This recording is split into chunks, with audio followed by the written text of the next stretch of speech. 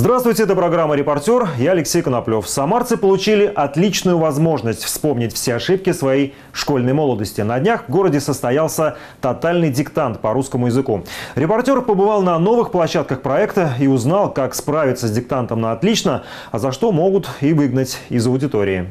Волнение, спрятанные в карман телефоны, повторение забытых правил грамматики. На партах ручки, индивидуальные бланки. Это отнюдь не ЕГЭ, а тотальный диктант. Тысяча россиян разом решили вступить в неравный бой с великим могучим русским языком. Почему я пришел писать тотальный диктант первый раз в жизни?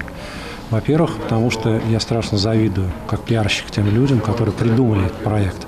Где-то какие-то сибирские ребята, я не помню, где он впервые проходил, но это удивительный успех, конечно. Вот они очень попали в нерв такой, очень правильный.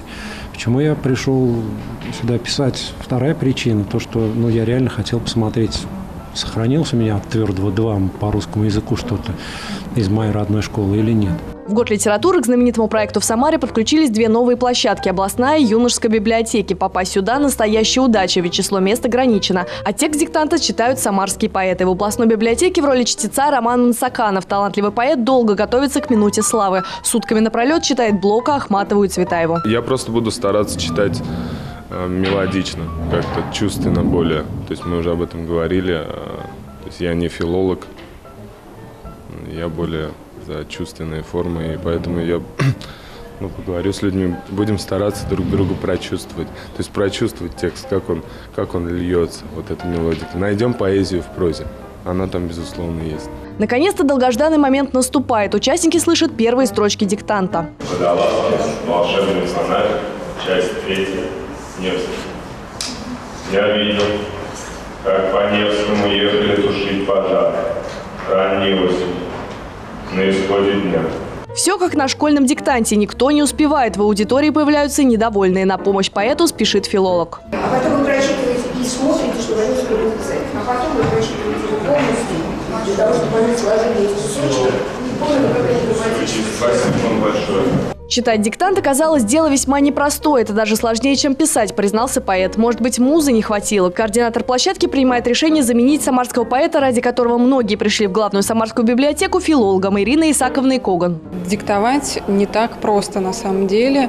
А, мы знаем, что среди э, филологов Самары есть профессиональные филологи, которые занимаются этим всю жизнь.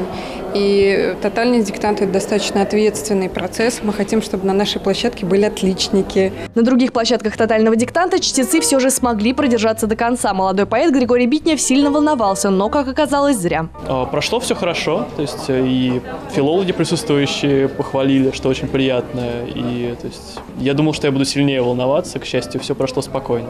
Но не так-то спокойны сами участники. После диктанта они сравнивают ответы друг с другом и с грустью обнаруживают пропущенные запятые. Ну вот решила себя попробовать. Мне показалось, что грамматически вроде бы вот я справилась, синтаксически не уверена.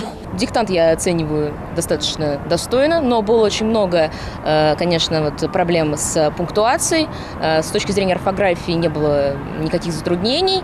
Ну и я бы сказала, что достаточно пролонгированный текст и слегка затянутый. Самое сложное еще впереди. Ночи напролет разбирать почерки участников искать все ошибки предстоит профессиональным филологам. Результаты в ближайшие сроки можно будет найти в личном профиле на официальном сайте тотального диктанта. Всех хорошистов и отличников организаторы ждут уже 24 апреля в Педагогическом университете на награждении и большом празднике. И это все на сегодня. Говорите правильно, говорите нужные слова. Увидимся завтра. Всего доброго. Пока.